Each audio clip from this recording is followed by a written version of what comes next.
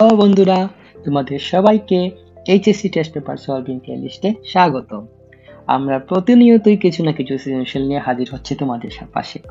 তো প্রতিদিনই আমরা নিয়মিত যে কোনো একটি বোর্ডের একটি সৃজনশীল নিয়ে আমরা আলোচনা করছি। ঠিক তেমনভাবেই পর্যায়ে আলোচনায় আমরা আজকে উচ্চতর গণিত দ্বিতীয় পত্রে চতুর্থ অধ্যায়, যেটি আমরা বহুপদী ও বহুপদী সমীকরণ যেটি বলি, তো এটা অনেক গুরুত্বপূর্ণ অধ্যায় এবং এখান থেকে সবসময় সৃজনশীল আসে। তো এবারে শর্ট সিলেবাস যেহেতু দিয়েছে, এখান থেকে দুইটা সৃজনশীল আসার সম্ভাবনা অনেক বেশি। তো আজকে আমরা যশোর বোর্ড দু উনিশ সালে যে সৃজনশীলটি এসেছি, সেটি নিয়ে আজকে আমরা আলোচনা করব। তো প্রশ্নটি আমাদের চোখের সামনে হাজির আমরা এখন উদ্দীপকটাকে পড়ে তো আমাদের এখানে বলা হয়েছে যে X square plus P X plus Q is to zero আর হঠাৎ এখানে পি আর এক্স শূন্য হতে পারবে না। একটা মূল্য দেওয়া আছে, একটা হচ্ছে ইউ এবং আরেকটা হচ্ছে ভি আবার এখানে দেওয়া আছে যে two X cube plus nine X square plus fourteen X minus five is equal to zero এবং এর একটি মূল হচ্ছে টু মাইনাস আই তো হ্যাঁ মানে দুইটা, দুই ধরনের উদ্দীপক। এখন আমাদের ফার্স্ট কোয়েশন বলা যায়, আবার ফার্স্ট কোয়েশন কিন্তু এই দুটো উদ্দীপকের সাথে মিল নেই। এখানে একটা ইকুয়েশন দেওয়া হচ্ছে যেমন একটি মূলধয় বাস্তব এবং অসমান হলে আমি এম এর মান বের করব। তো মূলধয় বাস্তব ও সমান হওয়ার কন্ডিশনটা আমরা কি? আমরা একটু ভালো করে মনে করি, যদি অধ্যায়টা পড়ে থাকি, আমরা জানি B square minus four AC যেটা আমরা পৃথায়ক বা নিশ্চয়ক বলে থাকি, সেটি যদি শূন্য হয়, হুম, এটি যদি শূন্য হয় তাহলে বলতে হবে এটি সমান এবং বাস্তব। আর শূন্যর কম যদি নিচে হতো তাহলে এটা অবাস্তব হয়ে যেত। আর যদি শূন্য না হয় অন্য একটা সংখ্যা হতো সেটি অসমান হতো। তাহলে বুঝতে পারছি এই কন্ডিশনটা করব। আর বি আর এ সি তো বের করতে পারব। এখানে এ হচ্ছে হলো এক্স স্কোয়ারের সহগ, আর এখানে বি হচ্ছে হলো এক্সের সহগ, আর যেখানে কোনো এক্স যুক্ত টার্ম নাই, সেগুলো হচ্ছে সি এখান থেকে আমি পেয়ে গেছি আমার ইনফরমেশন আচ্ছা ওইটা আগে আমি সৃজনশীল করি, তারপর আমি তারপর আমি খোয়ার গয়ে আসছি। তো ক নাম্বারটা আমি প্রশ্নটা আগে তুলে নিই। এখানে বলা হচ্ছে যে X square minus two M X plus eight M minus fifteen তো আগের টাইম যে আলোচনা করেছিলাম নিশ্চয়ক আমি বের করব। তো নিশ্চয়ক নির্ণয় ক্ষেত্রে আমরা জানি B square minus four AC তো বি হচ্ছে এখানে মাইনাস টু এম আর সি হচ্ছে এই অংশ, আর এ হচ্ছে এই অংশ। আমি এখানে চিহ্নিত করে রাখি যাতে আপনার বুঝতে সুবিধা হয়। তো এখানে minus two M whole square minus এখানে ফোর এক্সের শখ কিন্তু এখানে ওয়ান তারপর সরি এর শখ এখানে ওয়ান তারপর সি এখানে আছে এইট এম মাইনাস ফিফটিন এখানে আমি ক্যালকুলেশন করি। ক্যালকুলেশন করলে এখানে আসে ফোর এম স্কোয়ার তারপর এখানে আসে হচ্ছে four into eight thirty two M এবং four into fifteen is equal to plus মাইনাসে মাইনাস এখানে প্লাস সিক্সটি হবে। এখন যদি আমি একটা মিডিল টার্ম ভেক্টর করি, তাছাড়া আমি এখানে যদি চার দ্বারা ভাগ করি, চার দ্বারা ভাগ করলে আসে কি?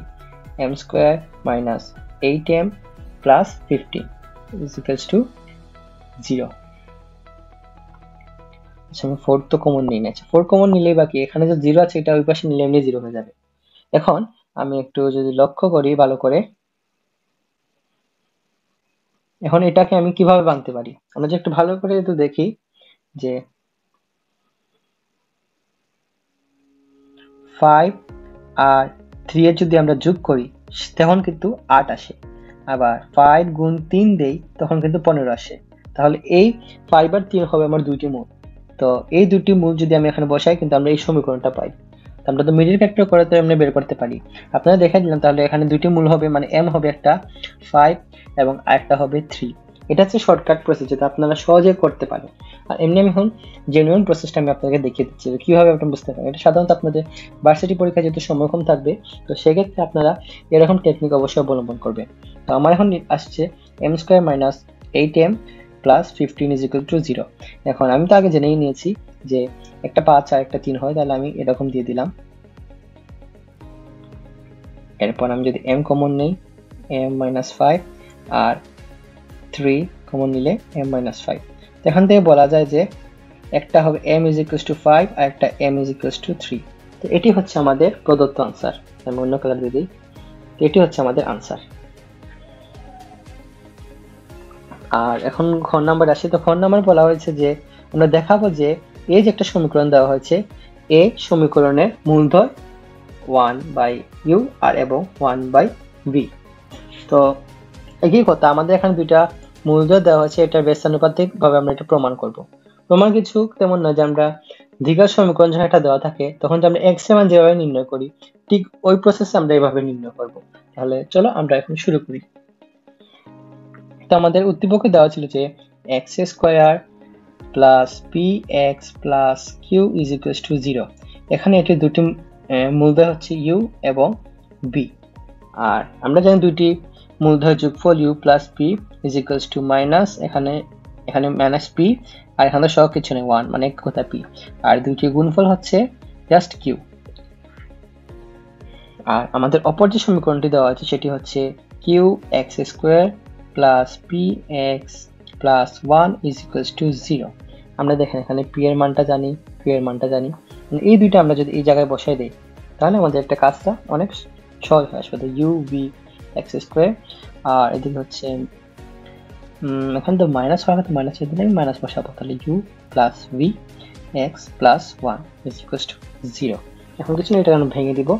আসবে U V X square minus U X minus V X plus one is equals to zero এখন এখানে আমরা কি করতে পারি? আমরা একটু ভালো করে লক্ষ্য করি, এখানে ইউ এক্স কিন্তু কমন চায় আমি যদি ইউ এক্স কমন নেই, তখন থাকে B X minus one similar আমি হচ্ছে মাইনাস ওয়ান কমন এখানে থাকবে বি এক্স মাইনাস ওয়ান দেখো, অনেক সহজ কিন্তু। তবে এখানে B X minus one is equals to R U X minus one is equals to zero minus one বোঝা যাচ্ছে না। তো আমি ওই জায়গাটা এখন টেস্ট করে দিই।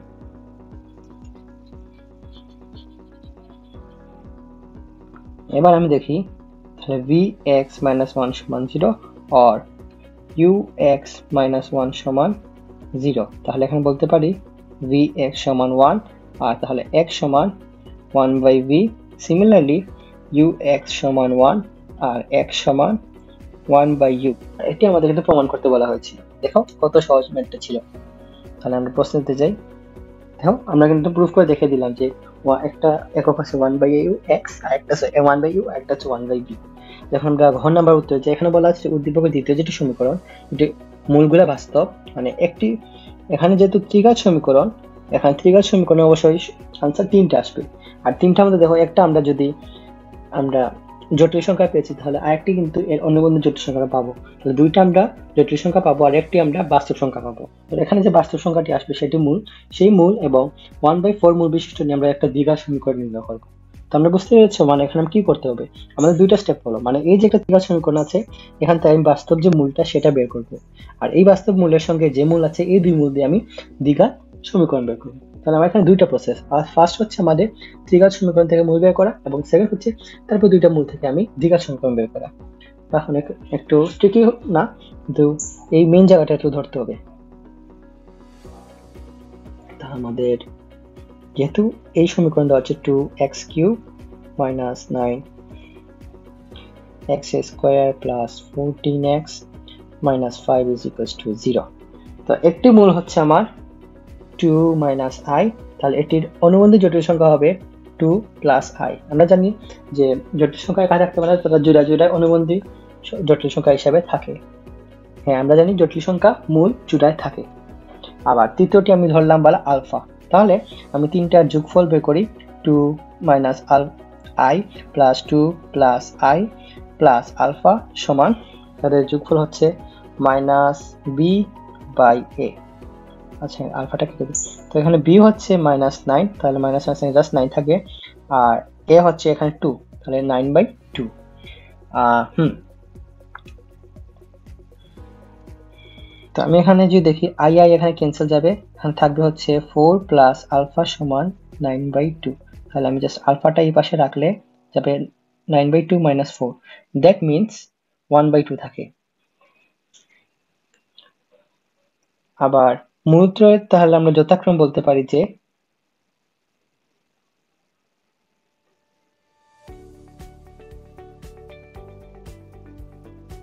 একটি হচ্ছে টু প্লাস মাইনাস আই এবং আরেকটি হচ্ছে হাফ। একটি হচ্ছে আমাদের বাস্তব, বাকি দুইটা হচ্ছে অবাস্তব। তাহলে আমাদের যে নির্ণয় সমীকরণ বের করতে বলেছিল, তাহলে আমরা যে প্রদত্ত সমীকরণের আচ্ছা ওয়ান বাই টু ও ওয়ান বাই ফোর মূল বিশিষ্ট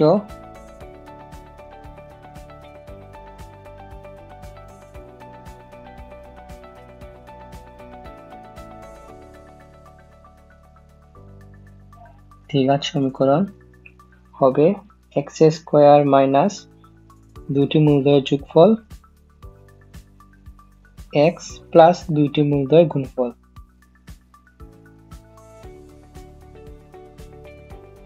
এখন আমি এলসিএম নেই। ফোর থাকবে টু প্লাস ওয়ান থাকবে এক্স থাকবে ওয়ান বাই এইট সমান জিরো এবার আমি যদি এখান থেকে কি আসে three by four X plus one by eight সমান জিরো যদি আমি আট দিয়ে গুণ করি, তাহলে আসে eight square plus six X plus one সমান জিরো এটি হচ্ছে আমাদের নির্ণয় আনসার